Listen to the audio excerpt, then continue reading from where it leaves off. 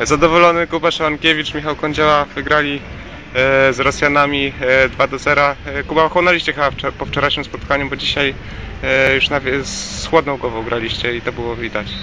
No myślę, że z meczu na mecz powinno być coraz lepiej. No. Udało się wygrać dzisiaj 2-0. Z trochę może słabszą parą, ale no nie za słabą. Tu nie ma słabych par, mówmy się tak. E, No właśnie, Michał, jak, e, jak pod- podeszliście do tego spotkania? E, Znacie pary rosyjskie, także, także było Wam troszeczkę łatwiej niż, niż wczoraj ze Szwajcarami? E, szczerze mówiąc, ja jeszcze przed samym meczem myślałem o wczorajszej końcówce, o wczorajszym tym, że, że, nie że zepsułem e, cały mecz. I trochę, trochę to jeszcze wpływało na mnie, ale w trakcie meczu już dzięki naszej dobrej grze rozwinąłem się i zapomniałem w trakcie meczu dopiero o tym, jak wczoraj było. E, czy nam było łatwiej? No, było łatwiej, ponieważ bardzo często z nimi trenujemy i na Teneryfie, i do Rosji jeździmy i na różnych turniejach też razem z nimi trenujemy. Z tą parą graliśmy na U23 dwa lata temu, także że tą parę bardzo dobrze znamy.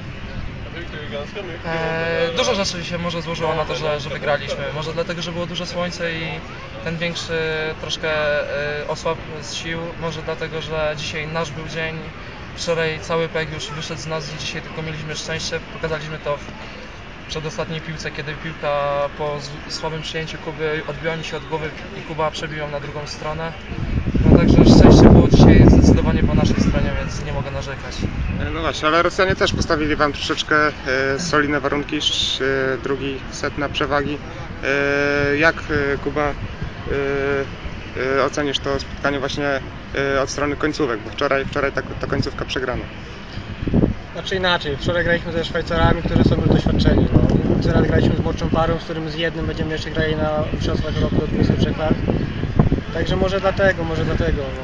No, Ciężko mi powiedzieć jak z tymi końcówkami jest, bo to zależy od, od dnia, od warunków, od tego czegoś. Także.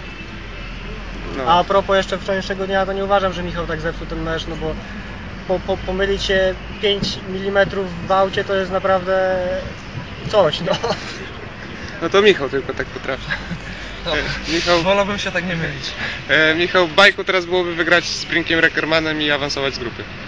E, mamy ich bardzo dokładnie rozpisanych, znamy ich wszystkie słabe i mocne punkty, więc e, no, na pewno podejdziemy do tego meczu rozluźnieni, bo znowu to, to oni muszą wygrać, nie, my nie musimy wygrać. No, my już e, pokazaliśmy się z dobrej strony, zagraliśmy dwa w miarę dobre mecze i